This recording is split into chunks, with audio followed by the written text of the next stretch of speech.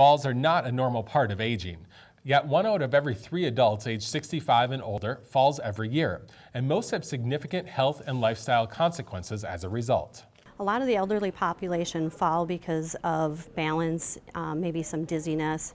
Sometimes it's a simple trip, I slipped, I fell. It doesn't necessarily have to be a mechanism of injury that's real significant, like they tripped and fell down a set of stairs to result in, in falls. Mercy Hospital in Coon Rapids sees fall victims come into the emergency room every single day.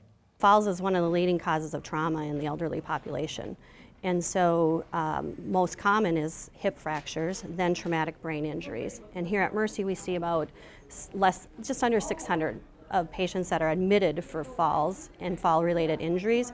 And that doesn't even include the, all the patients that we see in the emergency room that get discharged. To help combat the danger of falls, a seven week course is being offered for older adults in the community.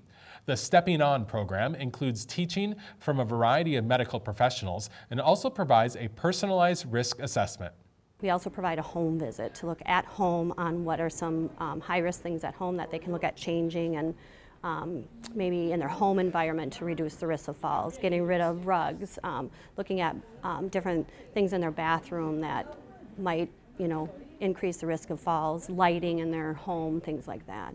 The seven week course will be offered at four different times in 2016 and only costs $10 to, intent, to attend the entire series. The hope is that the series will reduce the amount of fall related trauma in the community. We'd much rather see our community happy and healthy out there than see them in here and having to help them through, you know, their different um, injuries that, you know, can be, you know, life changing for them.